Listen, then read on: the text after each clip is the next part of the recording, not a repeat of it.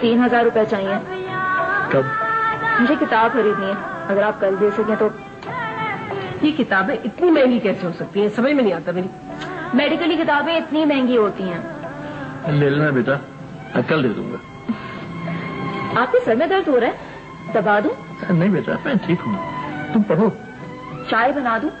آپ کچھ تھکے ہوئے سے لگ رہے ہیں۔ پریشان ہیں؟ نہیں بیٹا بلا مجھے کیا پریشانی ہوگی؟ ہاں یاد آیا۔ وہ کب جا رہا ہے؟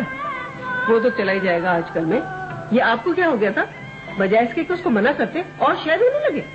اور یہ سلما کی بچی بدھ بن کے بیٹھ گئی۔ عائشہ کو تو جواب ہی نہیں ہے۔ انہیں تو اپنی شاپنگ کی پڑی رہتی ہے اب۔ رشیدہ بیگم جب ایک انسان نے فیصلہ کر ہی لیا تو اسے کیسے روکتا؟ اور پھر یہ اس کے مستقبل کا سوال ہے اسے جانا ہی چاہیے۔ چاہے آپ کی اپنی بیٹی کا مستقبل تباہ ہو جائے اس کی کوئی فکر نہیں ہے آپ کو؟ کیا ہو گیا آپ کو؟ بیٹی کا مستقبل کیوں تباہ ہونے لگا؟ اگر وہ وہاں سے کامیاب ہو کر آتا ہے تو سلما کی زندگی بھی تو بہت اچھی گزرے گی۔ اگر وہ وہاں سے واپس آیا تب نا اور اگر اس نے وہاں شادی کر لی تو پھر کیا ہوگا؟ وہ ایسا انسان نہیں ہے۔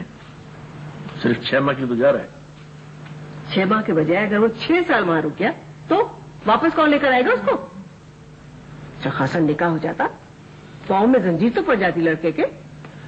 اور اگر وہ نکاح کر کے غائب ہو جاتا پھر؟ ارے بھائی یہ تو پھر قسمتوں کے چکر ہے لیکن انسان اپنی طرف سے تو پوری کوشش کر لینا امی اب آپ اس بیٹوں کی بحث بند کریں گے؟ ہاں کبھی ابو سے بھی تو کوئی ان کا مسئلہ پوچھ لیا کریں آپ؟ تمہارے ابو کی تو ایک پرانی عادت ہے۔ ذرا پریشانی ہوتی ہے چپ ساتھ لیتے۔ بیماری ہو تو مزہ لے کے کبھی کسی کو بتا دے۔ طبیعت ٹھیک ہے آپ کی؟ ہاں طبیعت ٹھیک ہے۔ میں ذرا اسٹور جا رہا ہوں۔ ابھی آتا ہوں۔ ابھی تو آپ آئے تھے۔ ابھی ایک ضروری کام یاد آ گیا ہے۔ جلدی آ جاؤں گا۔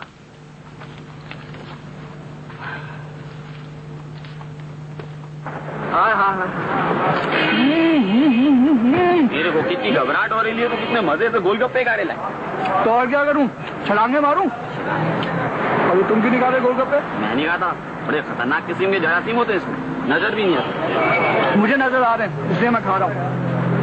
میرے خالو کہا کرتے تھے بیٹا عمران زندگی میں کبھی محبت نہیں کرنا ساری زندگی سر پکڑ کے رہنا پڑے گا۔ خاص ان کی بات مان لی ہوتی میں نے۔ آج یہ دن تو نہیں دیکھنا پڑتا میرے کو۔ تو بیٹا کس نے تمہیں کہتے اتنی مشکل جگہ محبت کرو؟ ہاں؟ ہزاروں لڑکیاں پڑی ہیں کسی سے بیچ لڑا لیتے؟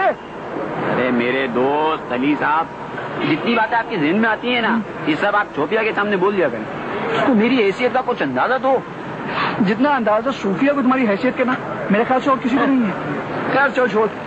ہاں تو مجھے اپنے پیدائش کی تاریخ اور باقی ڈیٹیلز دے دے تاکہ میں تیرا ذائچہ نکلوا دوں۔ یار تاریخ پیدائش کے بارے میں تو سب کنفیوز ہیں۔ یہ یاد رہا یہی کافی ہے۔ ورنہ اتنے بڑے صدمے کے بعد تو لوگ اکثر چیزیں بھول جاتے ہیں۔ نہیں کوئی بات نہیں میرا مطلب ہے کہ میں اندازے سے کام چلا لوں گا۔ یار وہ اندازوں اندازوں میں کہیں کچھ الٹا سیدھا نہیں کر دینا۔ عمران اگر تمہیں مجھ پہ اعتماد نہیں ہے تو اب یہ دو تم پیسے گول گپو کے اور جاؤ یہاں سے مجھے نہیں کرنا تمہارا کام۔ ناراض کیوں ہو رہے لائے؟ یار میں کچھ نہیں بولوں۔ تو بس میرا ذائقہ ذرا جلدی بنا دے اس میں شادی کی تاریخ ضرور ڈال دینا تاکہ میرے کو آسانی ہو جائے۔ تیرے کو یہ شادی کرنے کی کب ہے؟ ابا کہہ رہے تھے بیٹا یہ چھ مہینے میں کر لے۔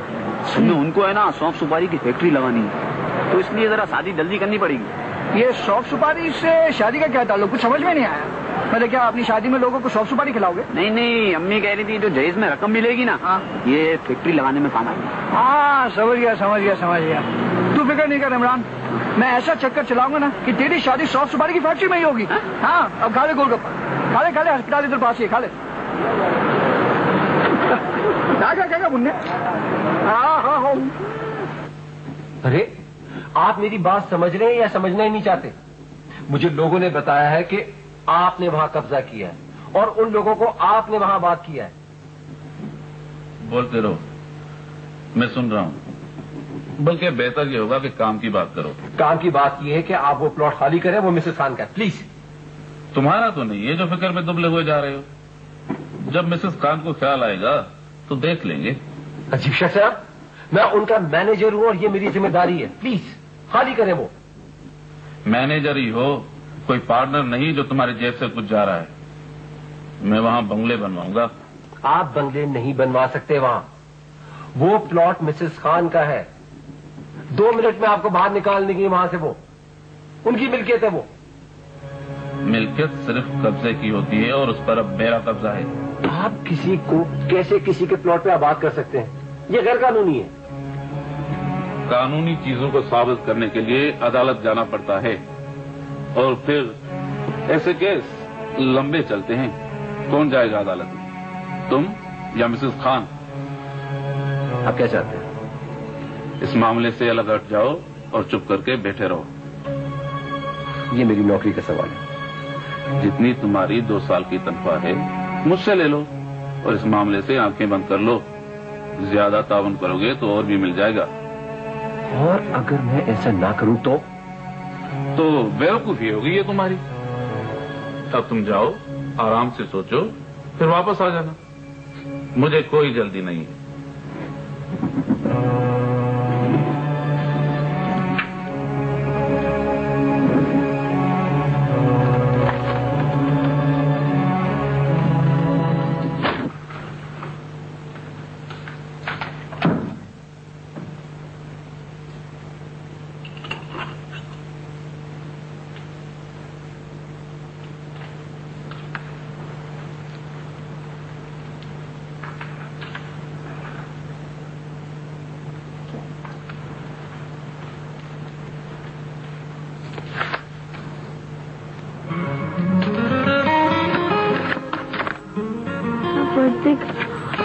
宝宝，宝宝，宝宝，宝宝，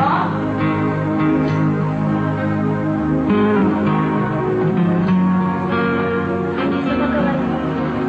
哦，我实在忍不住要来了。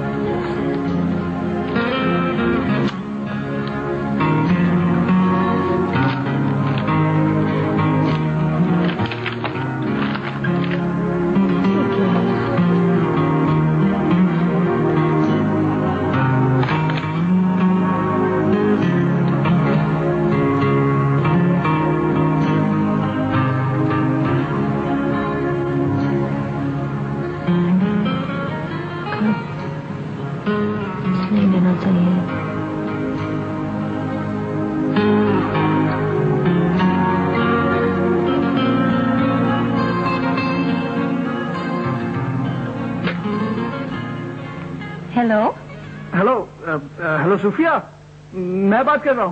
کون؟ میں بھائی علی۔ ہاں علی خیریت تو ہے نا؟ ہاں وہ خیریت ہے۔ میں نے اس لیے فون کیا تھا کہ ہاں ہاں بولو۔ وہ میں نے اس لیے فون کیا تھا کہ کہ تم زیبو کا خیال رکھا کرو۔ ارے کیا اسے کچھ ہو گیا ہے؟ ہوا کچھ نہیں ہے۔ بس ایسے ہی کہہ رہا تھا۔ نہیں تم بے فکر رہو۔ میں اس کا خیال رکھتی ہوں۔ بس کیا کروں؟ میں بھی اتنی الجھی ہوئی ہوں نا۔ شام کو جاؤں گی میں اس کی طرف۔ کس وقت؟ بس جیسے ہی ٹائم ملتا ہے۔ پھر بھی کوئی اندازہ؟ کیا ہو گیا علی؟ مجھے تو تم خاصے پریشان لگ رہے ہو۔ نہیں نہیں بات کچھ نہیں ہے وہ بس تم زیبو سے نہیں کہنا۔ کیا؟ یہی کہ میں نے فون کیا تھا۔